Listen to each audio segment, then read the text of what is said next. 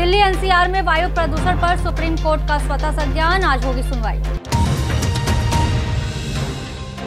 CM Fadnavis ने संघ प्रमुख भागवत से मुलाकात की। शिवसेना अब भी अपनी पुरानी मांग पर खड़ी। पूर्वांचल में बादलों की एक बार फिर होने जा रही दस्तक। कोहरे का भी आ रहा दौर। फॉरेंसिक टीम और डॉग स्क्वाड ने साहूकार की हत्या की वजहों को तलाशा, परिजनों को करीबी पर शक रेजिडेंट डॉक्टरों की पिटाई के बाद उपजे संकट का सीधा असर बीएचयू में।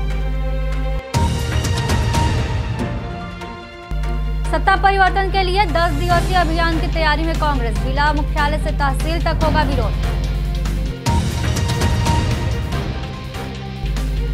आतंकी इनपुट के बाद अयोध्या में एटीएस ने संभाली कमान पैरा मिलिट्री फोर्स की निगरानी में प्रमुख मंदिर। तालाबों की बहाली पर इलाहाबाद हाई कोर्ट का बड़ा फैसला, अतिक्रमण हटाकर पट्टा खत्म करने का निर्देश।